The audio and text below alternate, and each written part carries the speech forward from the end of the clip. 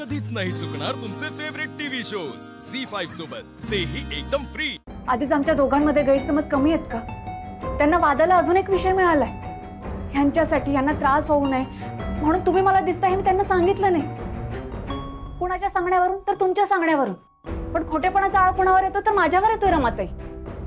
तुम्ही मला दिसत नाही आहात. तुम्ही कुठे आहात मला माहिती नाहीये. मी तुमच्याशी बोलू शकत नाहीये. पण यांना माझ्यावर विश्वास नाहीये. पण या सगळ्या गोष्टींचा काय परिणाम होतोय कळतोय ना तुम्हाला? आईंचे रिपोर्ट्स कुठे हे मी तुम्हाला मुद्दाम विचारत नाहीये. आईंबद्दलची मला काळजी नाहीये. असं माझ्या नवऱ्याला वाटतंय. असे आरोप लावतात ते माझ्यावर. रमाताई कुठे लपून बसलात तुम्ही? का समोर नाही येतात तुम्ही? राग आलाय का तुम्हाला माझा?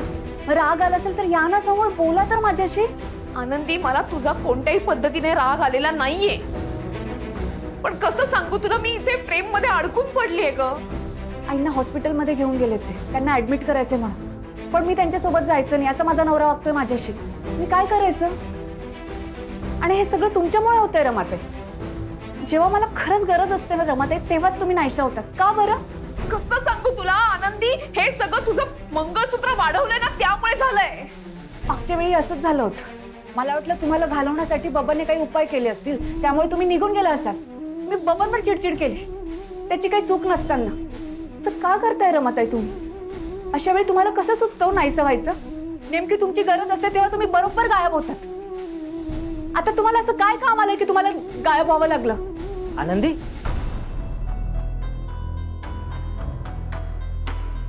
गेली नाही निघून इथून? हो. आता बघतोच हिला. हं? अशी गेलेली भूत जागेवर आणायची माझ्याकडे चार उपाय आहेत. माझे आजोबा पण करायचे ना? त्यातला सगळ्यात महत्त्वाचा आणि सोपा उपाय.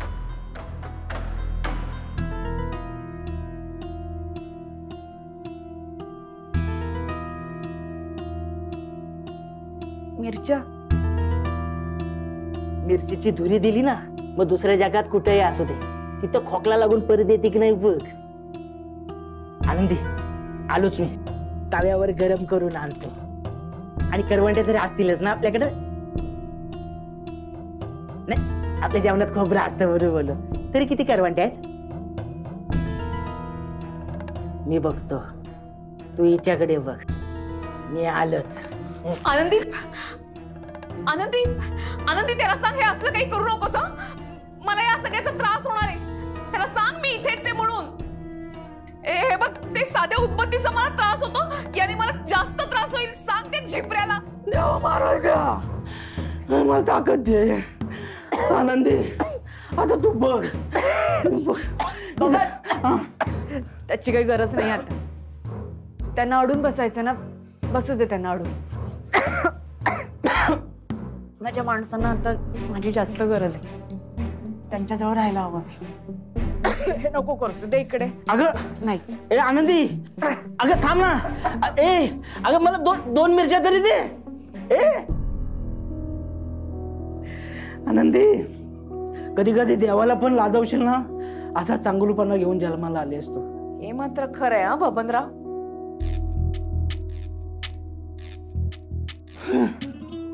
जिथं आहेस तिथून आणली असती तुला. आमच्या आनंदीमुळे वाचलीस तू.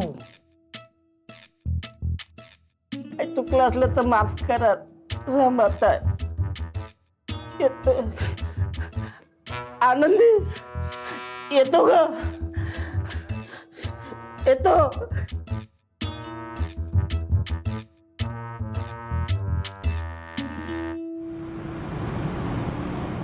जुने रिपोर्ट्स मिळालेत का? डॉक्टर नाही मिळाले आणि वाटत नाही ते मिळतील असे खूप वर्ष झाली त्यामुळे ते. ठीक आहे. मग आपल्याला सगळं हे पहिल्यापासून परत करावं लागेल. आईंचे रिपोर्ट सापडले असते तर बरं झालं असतं. आपण प्रोसिजर सुरू करूया. ठीक आहे डॉक्टर मी बाकीच्या गोष्टी मॅनेज करून ठेवतो. तुम्ही प्रोसिजर सुरू करू शकता.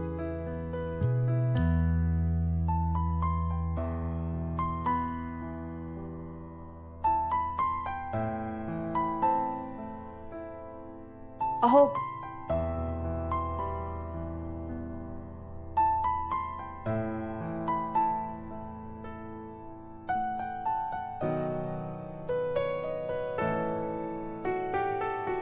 एवढं वाईट वागेन मी? माझ्या माणसांसोबत असं करेन का मी?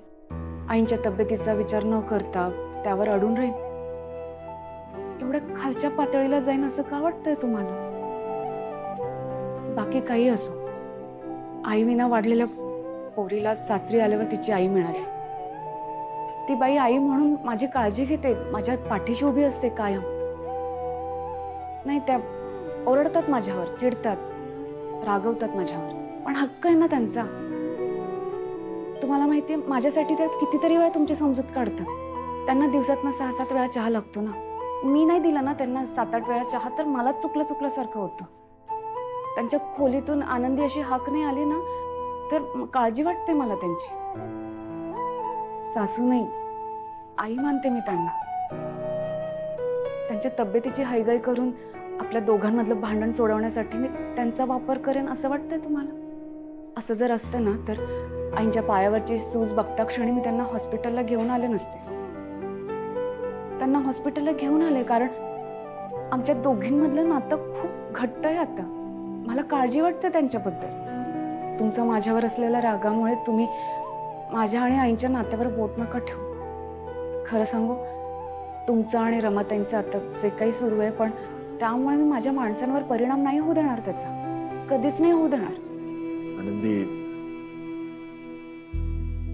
तसं मला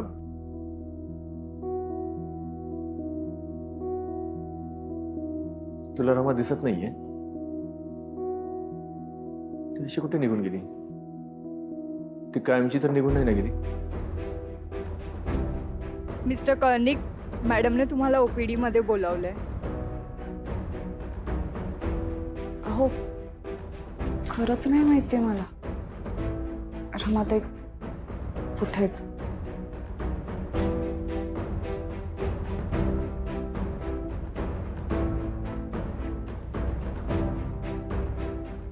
ह्या प्रश्नाचं उत्तर कदाचित माझं मंगळसूत्रच देऊ शकेल. झी फाईव्ह ॲप डाउनलोड करा आणि पहा सर्व एपिसोड्स एकदम फ्री